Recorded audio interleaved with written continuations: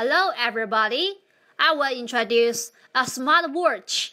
It is Cubot R8.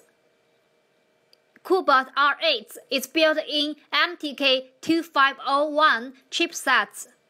It runs Bluetooth 4.0 version.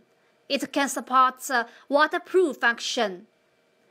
It supports multi languages like German, English, Italian, Spanish, Dutch, French, Russian, and Portuguese. It has 1.54 inch screen size.